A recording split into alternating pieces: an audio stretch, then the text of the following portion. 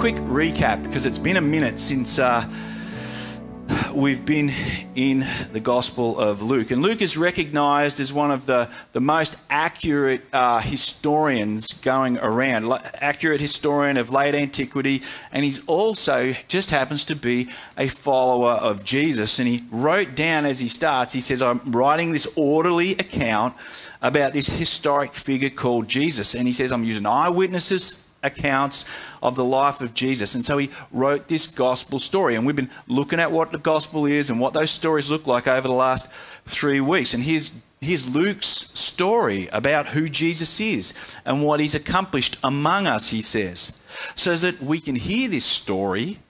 And as we hear it and receive it, we can have this unshakable faith in Jesus as God's salvation who makes people fit for the coming kingdom of God. And like I said, it's been it's been a quick minute since we've looked at it. So on Monday morning, I sort of got into my office and I thought I'll read through the Gospel of uh, Luke.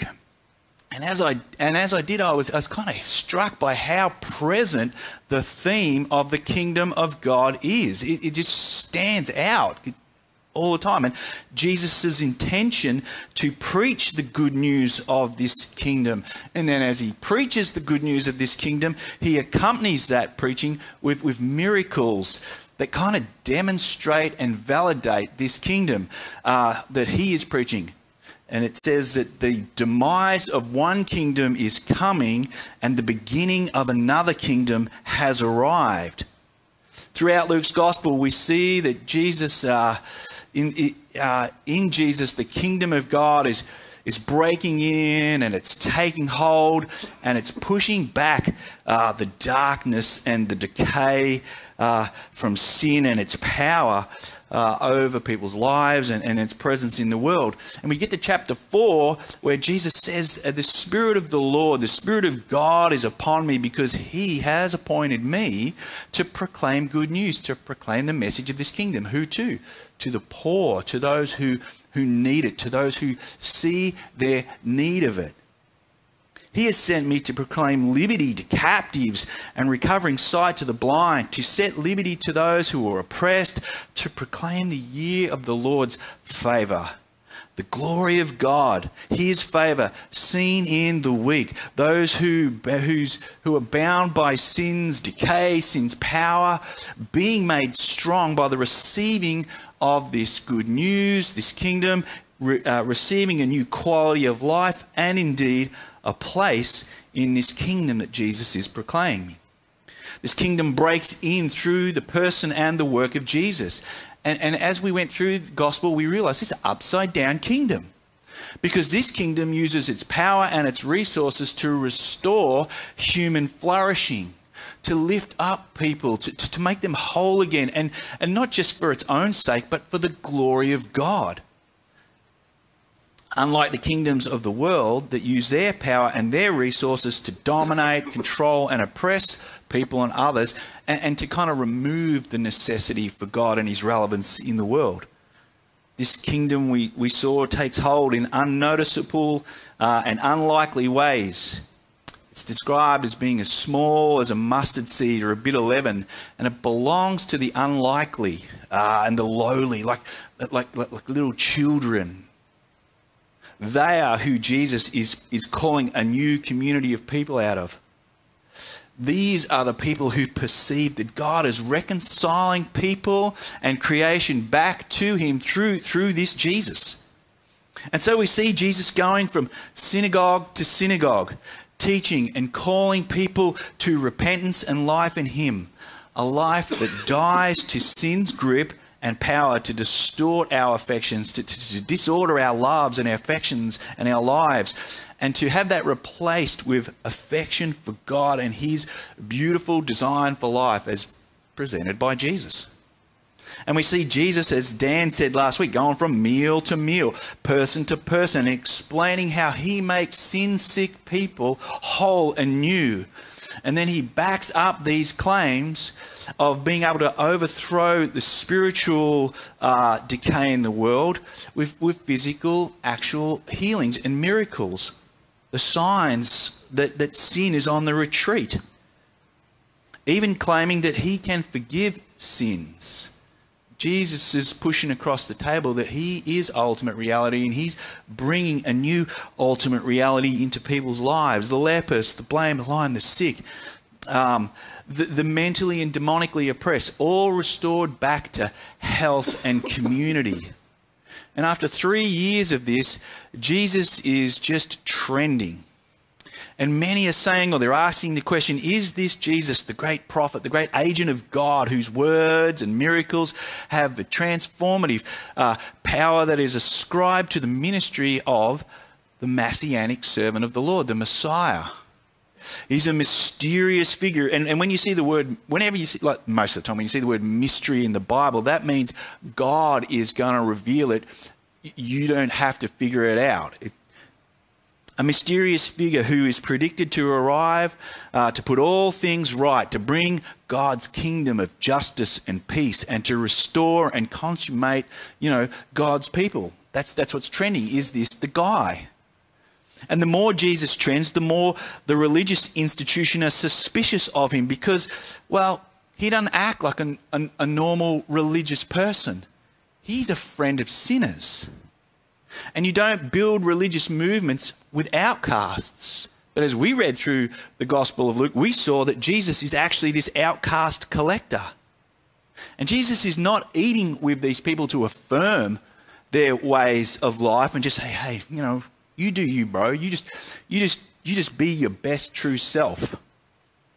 No, he's eating with them to intervene on their true selves and to invite them to no longer be enslaved to sin and self, but rather to find a greater reality of life in Him, in Jesus, an identity attached to who Jesus is and what He will do. That's why He's eaten with these people. He's out there sharing His story, and we've been talking about that for the last three weeks. How do we go and share our story with people? The good news of the kingdom of God as Jesus proclaims it, is not so much found in restored environments and conditions, but in Him. He is the actual good news. He is the means of new life and peace with God. Jesus is the sermon. Jesus is the good news. God's blessing is an actual person. And it's your relationship and your response to that person of Jesus that determines your place in the kingdom of God and determines whether you understand the nature of this kingdom. And this just enrages the establishment even more. And they're like, we have to kill this guy. Uh, he's, he's making himself out to be equal with God, and that's their conversation as it trends on. But everyone else is like, we have to make this guy king. No one else can do the things that he is doing. And this kind of um, expression plays itself out from the people as Jesus rides into Jerusalem on the donkey, like they're laying down their blankets and their palms and hail, you know, the king who comes. Against both these narratives, Jesus has been saying, I'm, I'm not the kind of, of threat to your power or the kind of king that you think I am. I am a far greater one. Like I am a far greater threat to your self righteousness, and I am a far greater threat to your self actualization, your self gratification than you could ever dare to imagine. And I am a king whose kingdom is not modeled on the kingdoms of this world. What's more, I can only become the kind of king you need, not by exerting power, but by dying. My kingship lies on the other side of a cross. My, my kingdom I leave behind will be like a mustard seed, but it will grow. And the gates of hell will not prevail, and it will continue to reclaim what sin has held captive until it's ready for me to return. And then I'll be the kind of king who comes and judges the entire world for how it's responded to my gospel, to my inbreaking kingdom. And the whole thing, the whole way through, is which team do you want to be on? Jesus is constantly calling people to make a decision around their acceptance or their rejection of him and the good news that he has been about proclaiming. And this has been the Gospel of Luke, right up to the house of Zacchaeus. And that's where we stopped, chapter 19. That's where we finished. And as we finished there, we saw that there were crowds of people who were following Jesus on the road to Jerusalem, en route to their uh, nation's spiritual capital for the Passover. That's what's going on. And they have just watched Jesus eat this meal with Zacchaeus, who's a chief tax collector. And then Jesus declares that he is a true son of Abraham who has received salvation. And this word salvation is evidence, it's a description that the kingdom of God has arrived in this guy's life. This meal has been a case study of what Jesus has come to do to seek and to save the lost and make them a part of God's community, citizens of the kingdom.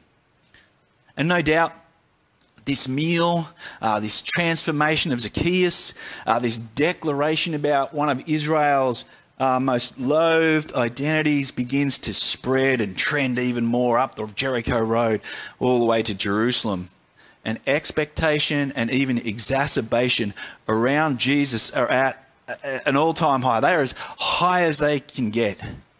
And now Jesus stands in the shadow of Jerusalem on the Jericho Road on the eve of the Passover an anticipation about what will happen when he actually arrives in Jerusalem is off the chain.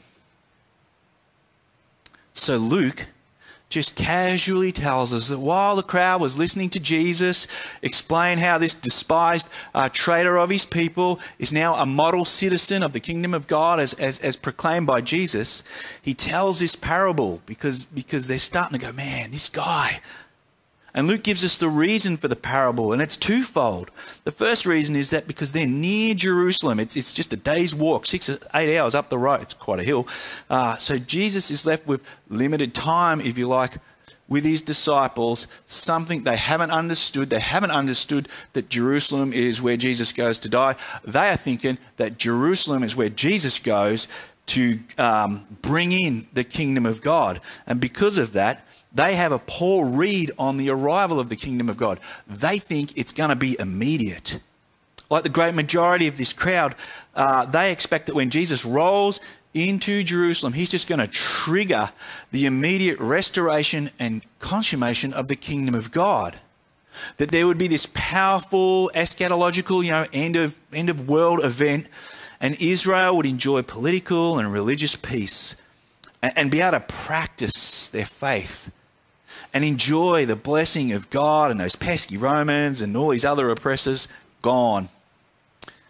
But for Jesus, the event that will take place is not one of overwhelming power through which God will, will vindicate uh, the people of Israel, but one through overwhelming humility and death, out of which Jesus will be vindicated and his followers commissioned and empowered to live as, as faithful servants in anticipation of the actual delayed uh, consummation of the kingdom of God. Jesus wants to correct their expectations of immediacy to, to delayed kingdom of God. Like all the way through the book of Luke, we've been seeing how the kingdom has come, but it's come in part, not in its full expression. The true subjects will be expected to live in active anticipation and, and uh, participation of the coming full kingdom of God. They will be expected to be agents of the same kind of uh, reconciliation and announcing of the kingdom of God and sharing of the gospel and the good news about Jesus that Jesus has actually been about. That is what is actually going to take place. And so the content of this parable is pretty straightforward. It tells uh, of a nobleman's interactions with two groups of people his servants and some citizens and how they conduct themselves to, toward Jesus in his delayed return. Interesting, Jesus is actually drawing on an event that took place around the time of his childhood in AD 4. When Herod the Great died, he bequeathed um, the kingdom rule of Judea and Samaria to his son Archelaus. However, in order for this rule to be valid, like Herod can go, yeah, no worries, son, you've got all of this. But in order for it to be valid, it required the approval of Rome. So Archelaus sets out to Rome. He goes on a journey to have Caesar confirm his kingship. But Archelaus is not a popular figure. He has killed some 3,000 Jews at a Passover. In fact, it was his tyranny that led to Jesus' family sitting on the outside, uh, outside of their normal home. They were trying to get back to Nazareth, but they get back into Galilee and they settle. You read about it in Matthew 22, uh, a little further out, because this, this Archelaus is a nutcase. So some, some group of 50 Jews and Samaritans, and they don't normally get together too often, journey to Rome to appeal for a different king. They don't want this king Archelaus to rule over them. The appeal was lost. Archelaus is granted the title of uh, ethnarch, not king, but with the promise of kingship should he rule well.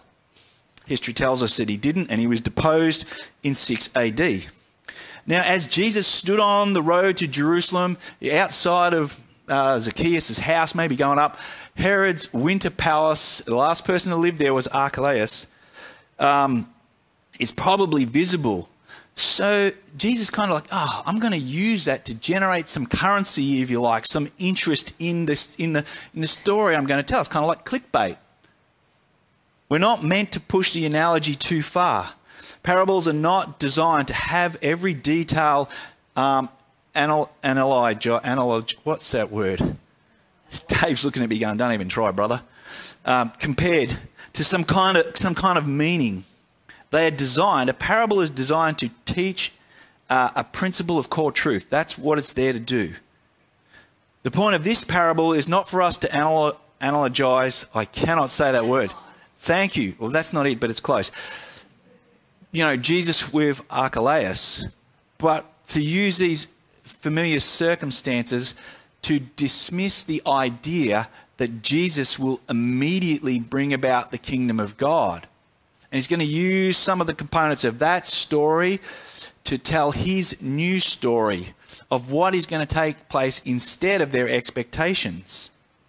A quick read of Luke's gospel, as I did on Monday, and you will see clearly that Jesus is a different kind of king with a different kind of kingdom than, than, than one like Archelaus. So maybe if you meant to do anything between these two characters, it's contrast. But the main point is delay. Another question pushed across the table in this parable is Do you know the king you serve? Here is a parable that shows how faithful servants live out their king's commands. Have you, do you actually know the king? Have these people been listening to everything that Jesus has been saying? And if so, are they responding to what he's saying? For those who respond and live accordingly, this parable is telling us great reward. For those who don't, cataclysmic uh, judgment. However, in this king's absence, he, he, he gives gifts to his servants. Uh, he resources them with, with this mina uh, to multiply the wealth of his kingdom. And they are to put this money to work until he comes back. They are literally to make a profit there is in this command an implied understanding that they will be required uh, to give an account of what they've done with the king's resources, with his generosity towards them when he returns. The point is, there will be delay, not immediacy, with respect to the consummation of the kingdom of God. In the meantime, the time that we are, oh, this is anticipating what we now experience. His servants, that's you and I, are to be about the continuing of his work of multiplying the good news of the kingdom as they have heard it, as they have received it, as they receive the story of Jesus. Now, go and multiply that. It's represented by this mina. We need to kind of get our, our, our Western kind of totally capitalistic, my brother would hate that, uh, worldview out of the, the way we see these minas. They're, they're, this is not merely a, a, a, monetary thing. These are representing a gospel uh, kingdom story deposit in our lives. But just like uh, the case was with Archelaus, this nobleman in this parable uh, has some citizens who just outright reject his claim to being king. They do all they can to reject his rule over their lives, and they spend uh, the time of his absence and his delay opposing any claim he has and, and denying this, this spread of this gospel. But the nobleman, as we read on, uh, verses 15, is made king. And now he returns from his absence to see what his servants have done with, with what he left with them. And we, as we went through Hebrews, we, we kind of saw the behind scenes uh, coronation of Jesus, how following his death and resurrection, he ascends into heaven where he is acknowledged as the true king and the ruler of all things. He is the great high priest, cosmic king, uh, awaiting to return. Uh, and in that capacity, in his return to consummate his kingdom, uh, the mediator of the new covenant as we saw it. And when he comes, rewarding faithfulness, rewarding those who persevere, rewarding those who faithfully live out uh, this Christian life. But also, as we read in uh, Hebrews, coming with fury and fire, consuming his adversaries. This is the return.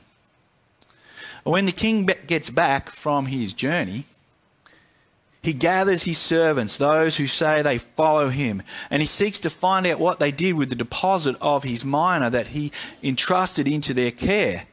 And two servants have seen the king's mina multiplied with great effect, like with 1,000% uh, growth and then 500% growth.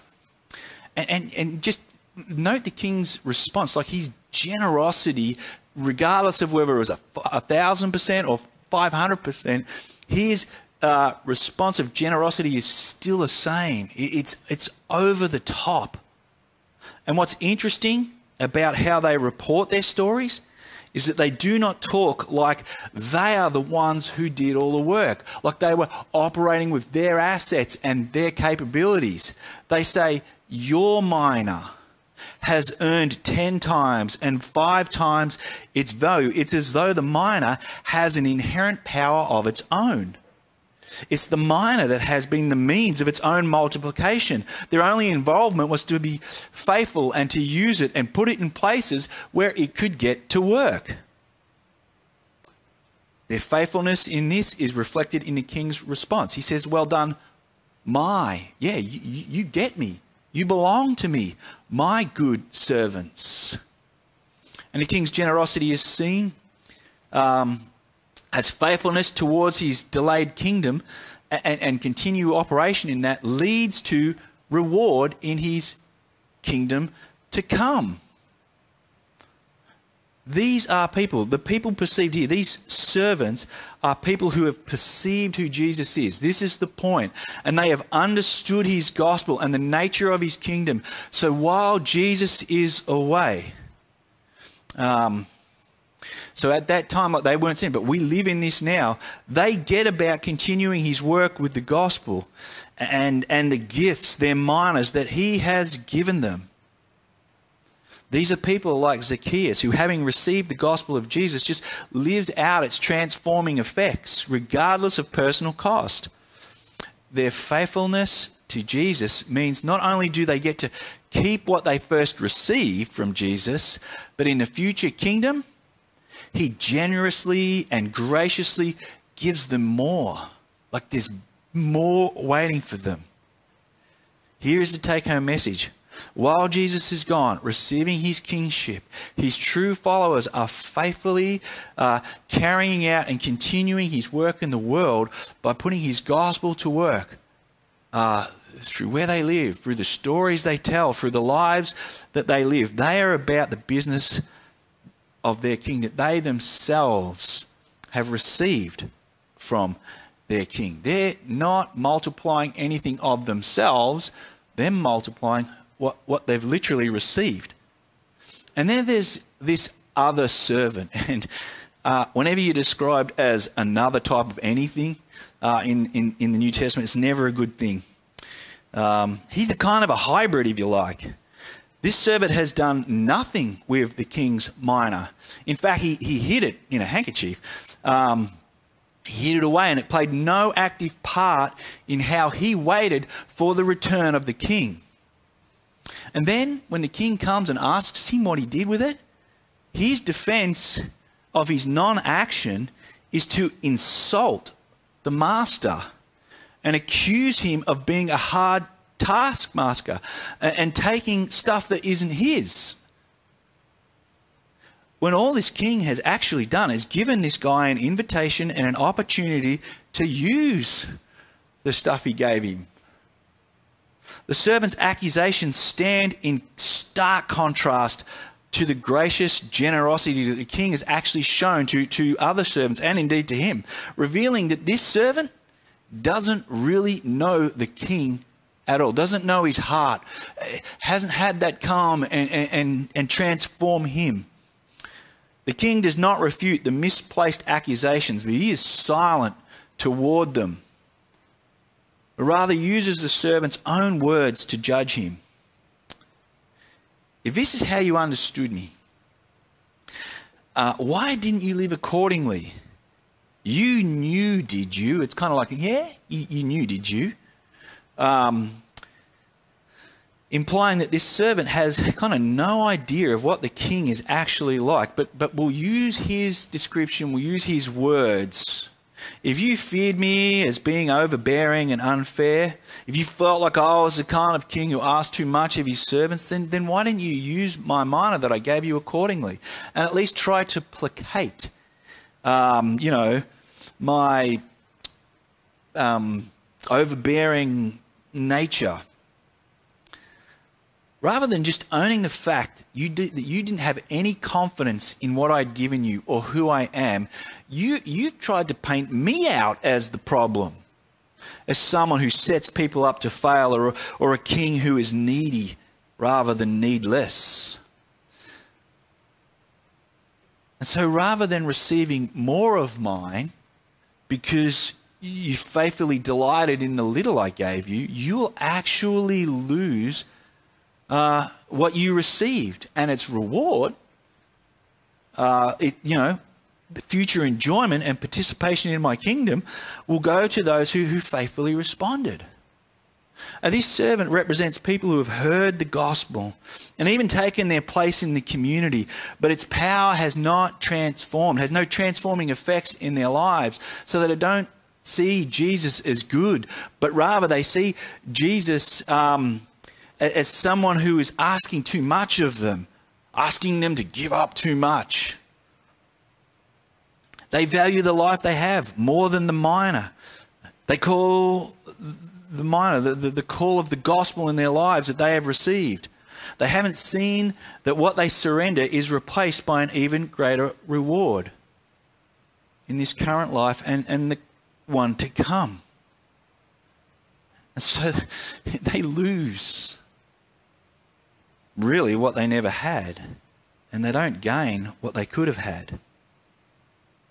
There is a um, there is a possibility that this person represents someone who's received the gospel but hasn't lived faithfully with it. But nevertheless, because this guy, we don't know he's out. He's nothing. He just loses the mina, but it's not really told what happens to him. He's not included with the next group who are put to death. So we don't know. He could be someone who just uh, gets into the kingdom of God like one escaping the flames, as Paul says in 1 Corinthians, but uh, I wouldn't risk it. The parable ends with the king addressing uh, his enemies, those who willfully and rebelliously reject his rule. They will face judgment for their treason the finality and the severity of their faith represents the fact that they that, that there is um, no reversing of God of the judgment, or, or there's no opportunity to change one's rejection of Jesus once He returns. Like you're not putting a DVD player in a in a cassette player and go, oh, oh, oh, look, Jesus has come back and we got it all wrong. Let's go and that ain't happening. These people whose lives are lived in defiance of Jesus, they have heard the gospel and they find it offensive.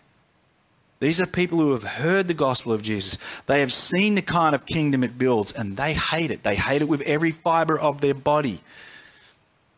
And, and they represent this furious fight against its growth in their life and in the world around them. That's who the enemies of Jesus are in this parable.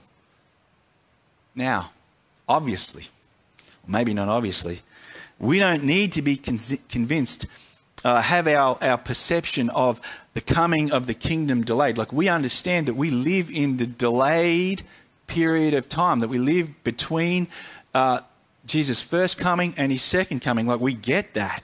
We have a pretty good grasp that we live in this period. The question that we must answer is what are we doing with our time? How have we responded to the gospel and the news about Jesus? Has it, uh, first of all, transformed our hearts? Has it enabled us to see Jesus as, as worth living for, as worth being a servant of, as a good and gracious and generous king? Have our hearts found a motivational confidence, a reason for living in what Jesus has done for us? Well, that's the that's the first point. Do you understand who Jesus is, what he's like? And if it has transformed us, if it has made us true citizens of the kingdom, well, what are we doing with the resources that we have been given to live that life out, to retell that story of transformation, that story of good news, that story of entering into the kingdom of God? the, the good news of, of, of, salvation in our hearts. That's what Zacchaeus is. Just before this, he's this case study of what it looks like. What are we doing? Are our lives organized around the anticipating the return of Jesus? That's what we've heard over the past three weeks. Have we become faithful storytellers, people who use what God has given us to share what God has done in us. Jesus is telling us that he is no stingy king, that he rewards generously those who live out their call to be his people. Like you cannot imagine what waits for us. Or are we stowaways in this community? Our hearts have no confidence in Jesus. We don't trust him with our lives. We don't see him as the source of grace, as someone who has dealt with our sin. The kind of person who has never truly walked through the door of faith that responds to the gospel of Jesus. Jesus is telling us that he is no foolish king. Stowaways will be made to leave, their privileges lost, and their room in the kingdom given to legit passengers. And this, this, this parable is like grace to that heart like it's time to punch your ticket? Or are you the furious fighter against the king and his gospel? Are you someone having heard that Jesus is offering a life in which sin is put to death and God's beautiful design is restored, and you say, I want nothing to do with it. You can stick that somewhere else. You take that gospel and you jam it. This parable warns us that rejection of Jesus is met with the ultimate and final judgment. Essentially, you receive exactly what you invested your life into, and that is separation from God and ultimate death. To the degree that you respond to Jesus is the degree that Jesus rewards and judges. There are no second chances once the King returns. How our hearts are towards him when he returns fixes our place in eternity as one kingdom fully disappears, powers and principalities of darkness and sin as it disappears, and the new one emerges in its fullness. How, how, how we participated in this life will determine where we spend the rest of eternity. That is what this parable is. This is a parable of grace. And it asks us to perceive who Jesus is and live out our lives as faithful servants until he returns with a promise of generous, gracious, purposeful, eternal living in his good and full kingdom.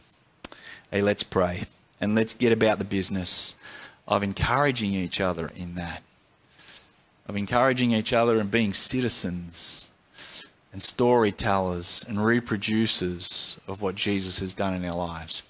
Loving God, we thank you uh, that even your strong warnings, your harsh words are like grace to us.